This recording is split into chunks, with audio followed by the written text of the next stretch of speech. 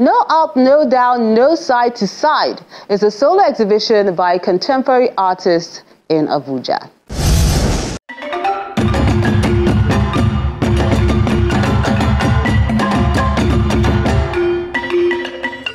The Countervail Art Gallery, in collaboration with VOM Network, presents this debut solo exhibition by contemporary artist Ebuka Agudiegwu in Abuja titled No Up, No Down, No Side to Side. The whole, the whole idea started from within. I was just trying to get a grip of how our mind works, like the magnitude of our mind being dimensionless I'm fascinated with space, you know, astronomy and all. And one of the things that fascinates me the most about astronomy is when scientists come to say, like, we know where we are in the solar system, but we don't actually know where the solar system is in space. And that is kind of um, similar to how our minds are. Like, think of it. What are the limits to what you can think? Like you can literally think of anything. Um, these days we watch a lot of movies. You see Spider-Man flying. You see cars flying. Like I'm just trying to you know give you a, a, a sense of you know how the mind works. And the truth is, our reality is kind of contrary to our imagination. Sometimes the, the, the only limiting factor we experience in life is uh, what we see in the real world.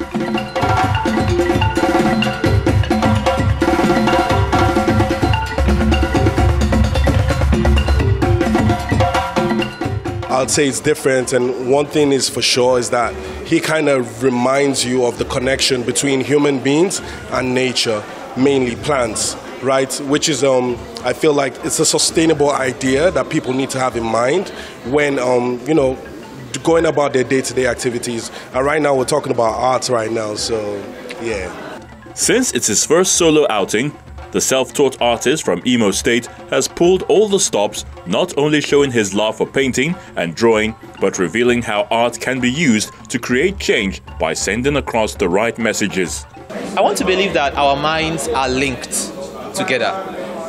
Like I, I, am thinking of something, I'm not discussing with anybody, and then somebody in China probably thinking about that same thing, and it's just amazing because the whole thing started when I heard a man say, Where can you find the greatest of treasures? He asked the question to a congregation, and they were all making guesses at the mine, some said uh, the ocean, and he was like, No, that you get the greatest of all treasures in the burial ground.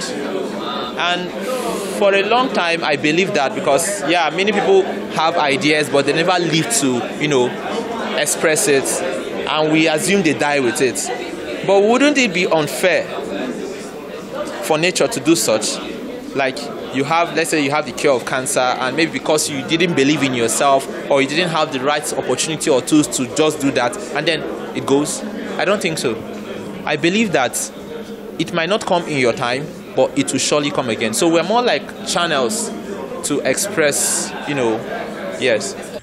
This artist began his creative journey from infancy but went professional in 2017, and he uses it to connect with his immediate society and the world at large.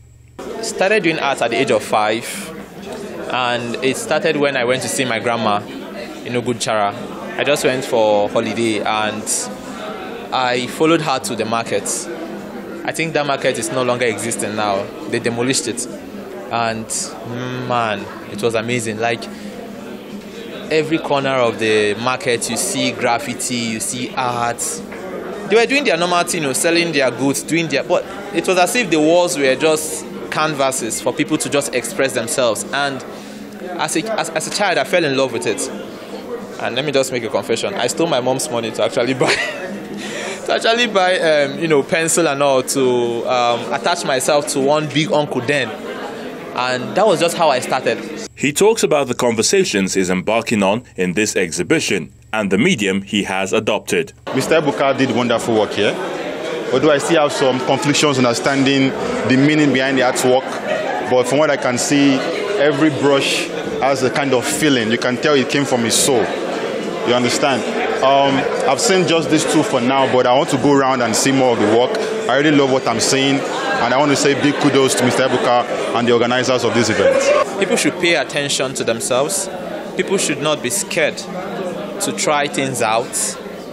You never know where it's going to lead you. Like just like I mentioned earlier, most of the greatest inventions we have now are, outcomes of accidents. Like I was uh, telling one of uh, one of uh, my guests here about how electricity was actually um, discovered.